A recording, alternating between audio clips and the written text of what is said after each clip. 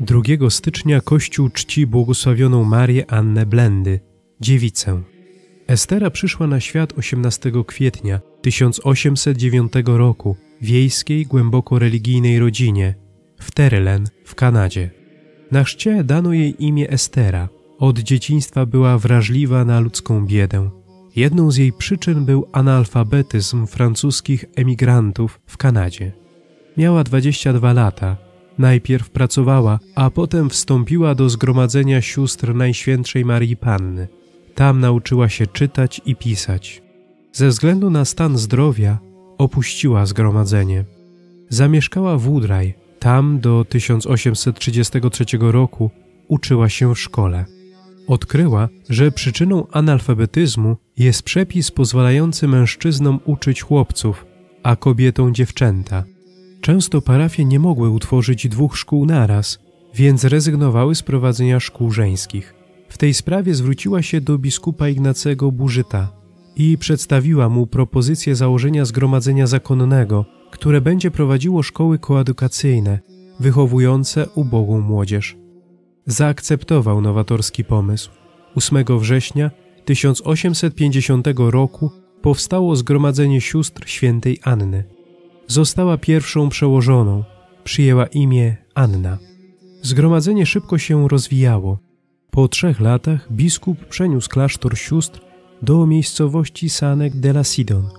Tam zaczął się konflikt z kapelanem, księdzem Ludwikiem Meryszalem, który nadużywał swojej władzy i bezpodstawnie ingerował w życie szkoły i sióstr. Po roku konfliktu biskup poprosił siostrę Annę, by się wycofała. Zgodziła się dla dobra zgromadzenia. W decyzji biskupa widziała wolę Bożą. Przez 30 lat cicho, skromnie wypełniała proste prace domowe. Prała, prasowała, sprzątała.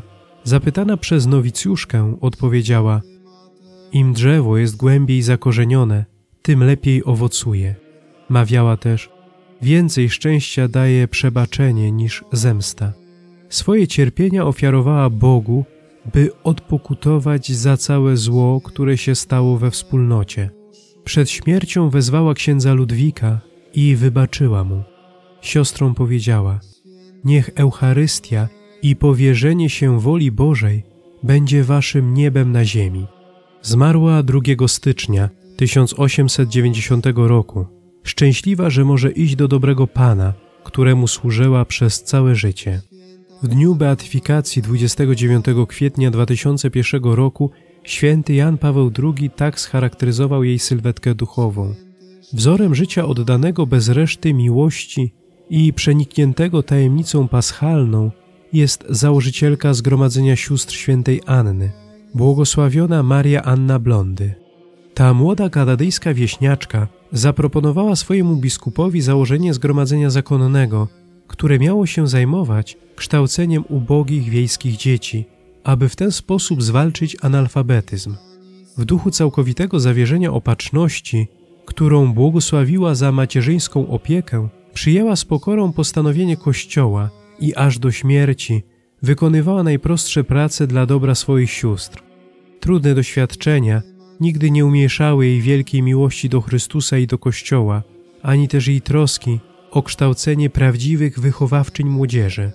Dając wzór życia pokornego i ukrytego, Maria Anna znajdowała wewnętrzną moc w kontemplacji krzyża, ukazując nam, że życie w wewnętrznym zjednoczeniu z Chrystusem jest najpewniejszą drogą, która w tajemniczy sposób pozwala nam przynosić owoce i wypełniać misję wyznaczoną przez Boga. Niech jej przykład pomoże siostrom z jej zgromadzenia oraz wielu młodym ludziom znaleźć upodobanie w służbie Bogu i człowiekowi, zwłaszcza młodzieży, której trzeba stworzyć możliwości autentycznego rozwoju duchowego, moralnego i intelektualnego. Módlmy się. Panie nasz Boże, błogosławiona dziewica Maria Anna, wiernie Ciebie miłowała. Niech zapali nasze serca ogniem Bożej miłości, który przekazała swoim towarzyszkom ku chwale Twojego Kościoła przez naszego Pana Jezusa Chrystusa, Twojego Syna, który z Tobą żyje i króluje w jedności Ducha Świętego, Bóg przez wszystkie wieki wieków. Amen.